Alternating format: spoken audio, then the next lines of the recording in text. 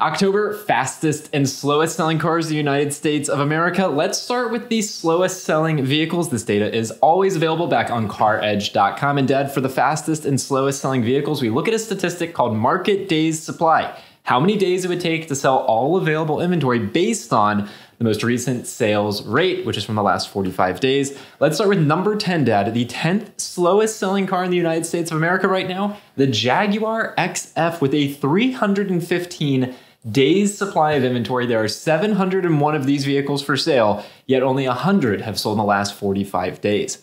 Whoa.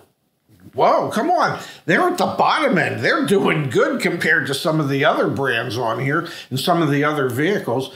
Um, but, you know, then again, it is a Jaguar. So, you know, what do you expect? All right, but let's be very clear a 315 day supply, that's bad. That's really bad.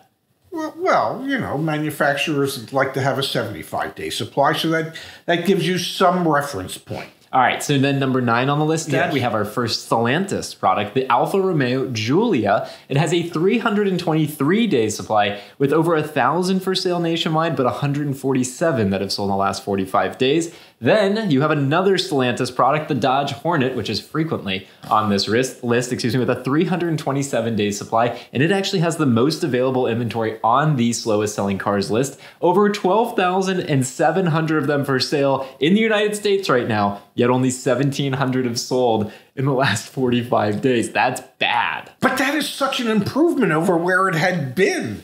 I mean, it is it is a staggering staggering increase in sales compared to what it had been.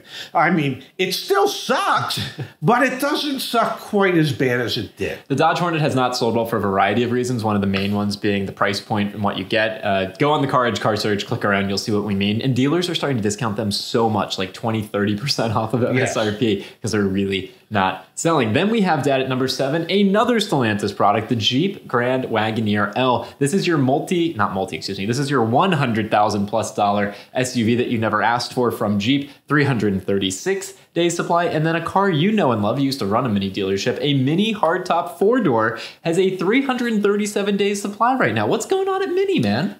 My guess would be that that would be the new 2025 redesigned mini four door hardtop. And um, uh, the outside might look good. The inside is, well, questionable at best. All right, now we get to the top five, there is a brand here. Do your best to keep looking over there. Wow. Now that we're into the top five here, where there's a brand that is breaking in in a bad way, Dad, and that would be BMW. They own 80% of the top five spots in terms of slowest selling cars in the United States right now. This could be due to some model year turnover and also price point, I think, plays a big role. Number five slowest selling car in the United States right now, the BMW 5 Series, a 387 day supply. Then the 7 Series with a 517 day supply. Again, this could be due to some of the model year turnover, so a lot of new 2025s making it to dealer lots. But they're not selling that quickly, which also could be because there's more discounts on the 2024s. Yeah. So this should of this is something we'll watch for over the next couple of months. Like, does BMW, their flagship 5 and 7 series, come out of the slowest selling cars? But right now, in this moment, there's an oversupply of 2025 5 series and 7 series. Yes, and and you know the five series is one of the, one of their bread and butter vehicles, along with the three series. So you know that one's a little scary. Now the seven series, why they thought they needed to have twenty eight hundred of them in the United States, is beyond me. But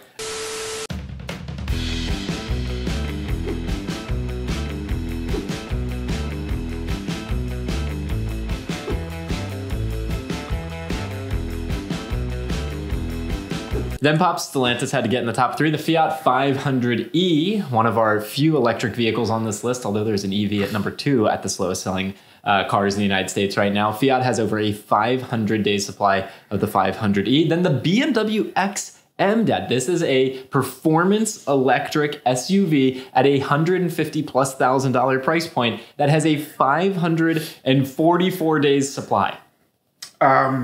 which will probably just go up. Okay. Yeah, Uh, who's spending that much money on that? Uh, well, the same people that might look at the electric G wagon, um, but but still, I mean, I I don't know that there's anybody out there saying I need an electric I don't know. Performance big ass, SUV. Performance big ass SUV. for 150 grand. Well, and I I, have seen them as high as $189,000.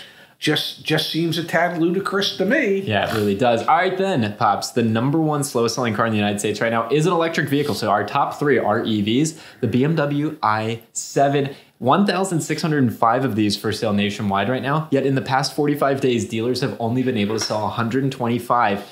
That's a 578 days supply of a very expensive BMW electric vehicle. So, if they didn't bring another one into the country, it would only take them 578 days to sell the 1,600 that are already here. That, and, and, and you know, at these price points, I mean, that's costly to have one of those vehicles sitting around for a year and a half um, uh, that doesn't bode well for the i7. If you're trying to get a good deal on an i7, I there bet you, you go. get one. Yeah, dealers Yeah. are probably dying to get rid of Yes. them. Dad, the top 10 fastest selling cars in the United States, we're just going to cut right to the chase. 90% of them are either Toyotas or Lexuses, like Lexi. Lexi. The number 10 fastest selling vehicle in the United States is the one exception to that rule. The Kia Forte has a 32 days supply. And listen to these numbers here because they are so drastically different from what we just went through on the worst or slowest selling vehicles. 10,189 in inventory right now at dealers' lots, on dealer lots. 14,111 have sold in the last 45 days. You want that, you being the manufacturer and the dealer, you want those types of numbers. More Yes. being sold than you have in inventory. Oh, absolutely. And that's what you're going to find across the board in the fastest selling vehicles. Um, and I, I am impressed. Kia is selling as many Fortes as they are.